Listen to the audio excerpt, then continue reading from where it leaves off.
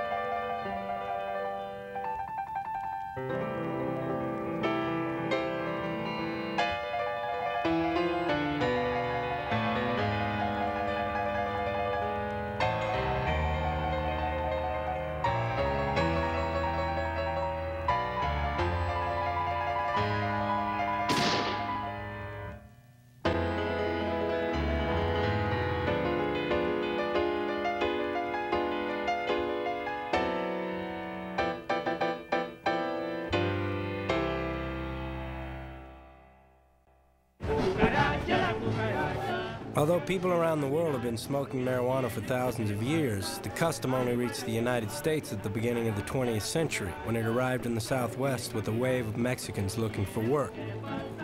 Piper's Place. Next.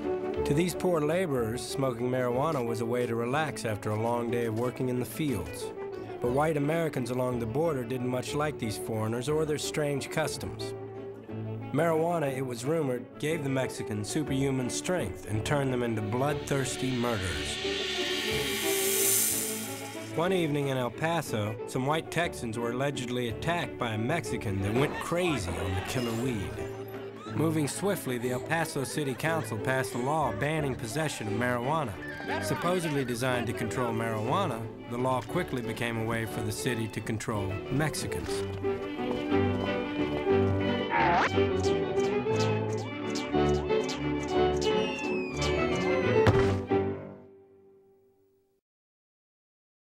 Was it all about racism, or was race merely used as a way to get white Americans the majority to fare?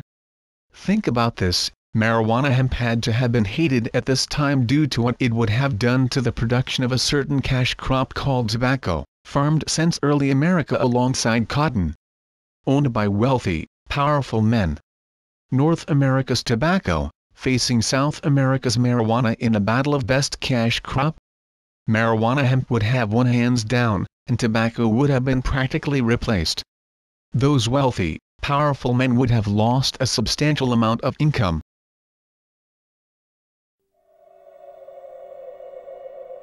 Unlike the people of El Paso, most Americans had never even heard of marijuana. They were more concerned about the rising addiction to opium, morphine, cocaine, and heroin, which were all serious public health issues. But instead of treating drug addiction as a public health problem, the federal government put control of these drugs in the hands of the Treasury Department, who created the Federal Bureau of Narcotics. This is Harry J. Anslinger, Commissioner of the Federal Bureau of Narcotics. Oh, The Treasury Department intends to pursue a relentless warfare against the despicable, dope peddling vulture who preys on the weakness of his fellow man.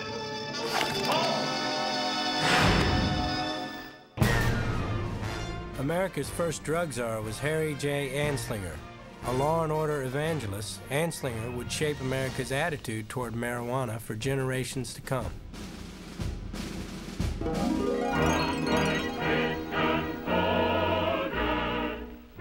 Like many Americans, Anslinger was a prohibitionist. These morally correct citizens sincerely felt that progress could only be achieved by controlling the depraved impulses of the masses. Swordfish.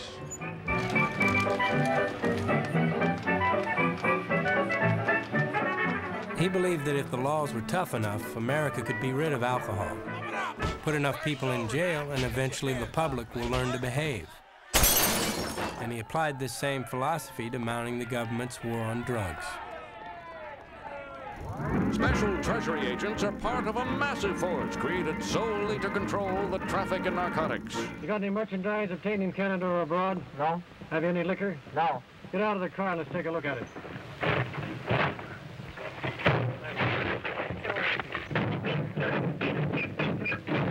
Come on. J. Edgar Hoover. Here come the agents of the Federal Bureau of Narcotics. Like J. Edgar Hoover, Anslinger posed for the cameras, creating the impression he was smashing one major dope ring after another. But he found out pretty quickly that policing 48 states on a depression-strapped budget was impossible. His solution was to try to convince the states to police local drug traffic themselves. Campaigning tirelessly, he lobbied each state to sign a joint agreement to commit state resources to fighting drugs. But only nine states signed on. The other 39 viewed it as federal interference in their affairs. It was a major defeat for the young drug commissioner, but he wasn't the type to give up.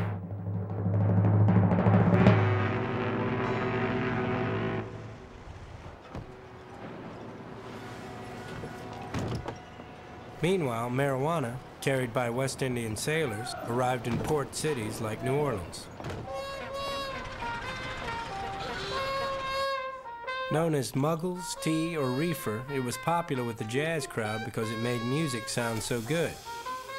From here, musicians carried it up the Mississippi to urban centers in the north.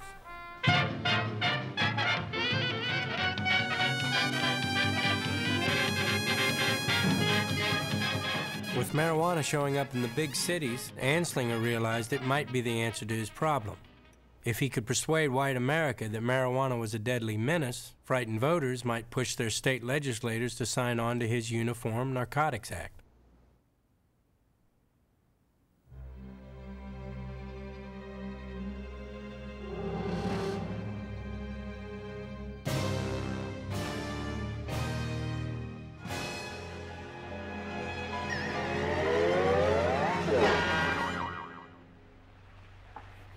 Master.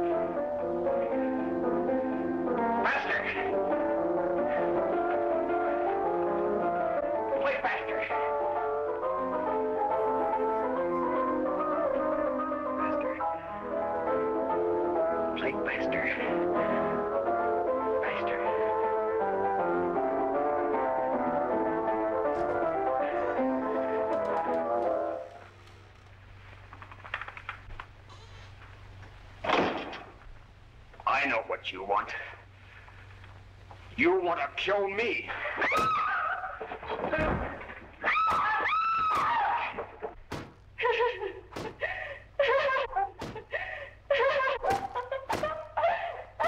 In this case, the state waives trial of the defendant, Ralph Wiley.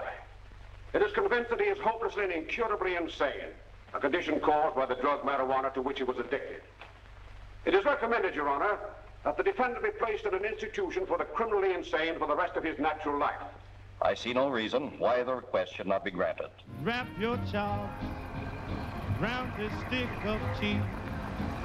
Blow this game and get high with me. Determined to get the act passed, Anslinger unleashed a media campaign to make the public believe that this little known plant growing at the side of rural roads was the biggest threat America had ever faced. Not long ago, the body of a young girl lay crushed on the sidewalk after a plunge from a Chicago apartment window. Everyone called it suicide, but actually it was murder. The killer was a narcotic known to America as marijuana and to history as hashish. Used in the form of cigarettes, it is comparatively new to the United States and as dangerous as a coiled rattlesnake. How many murders, suicides, and maniacal deeds it causes each year, especially among the young, can only be conjectured. In numerous communities, it thrives almost unmolested, largely because of official ignorance of its effects. Anslinger's campaign was tailor made for the lurid tabloid press, and supported by an army of moralist groups, it captured the public's imagination. Movietone News, covering the world to bring you the news. He's a man that smokes that job. That job will take you for a dive. Wonders if he's still alive when smoke that killing job. America is threatened by a new drug menace. Street corner vendors whose stock in trade is the deadly loco weed marijuana pass it out in cigarette form. From ingeniously concealed containers, the reefers go to the waiting hands of deluded youngsters. When you smoke that killing job. Police find a city backyard full of dope. This innocent-looking weed is Mexican marijuana, which when smoked produces more nightmares than opium. Captain Mooney of the narcotics squad will tell us something about it. The constant use of these marijuana cigarettes causes temporary insanity. Yes, smoke that killing job. Let's go, Jack. I'm red hot.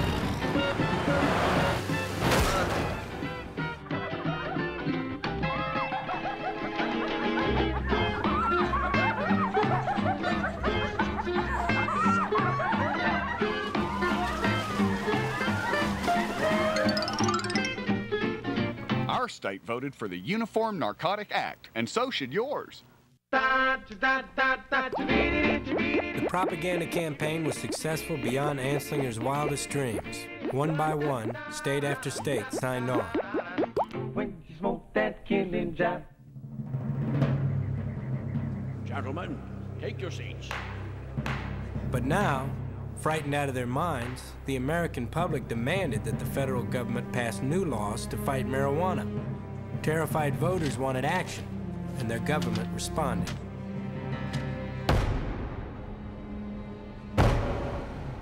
Without any public debate, scientific inquiry, or political objection, the Marijuana Tax Act was signed into law by President Roosevelt.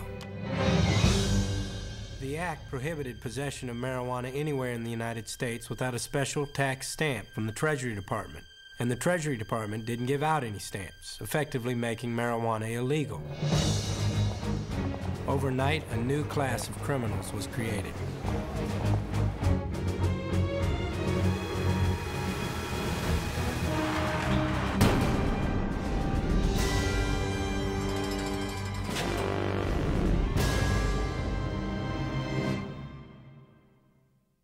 To the treasury agents of the Bureau of Narcotics comes the job of wiping out this traffic. And in 1937, we smashed 10 major narcotic rings.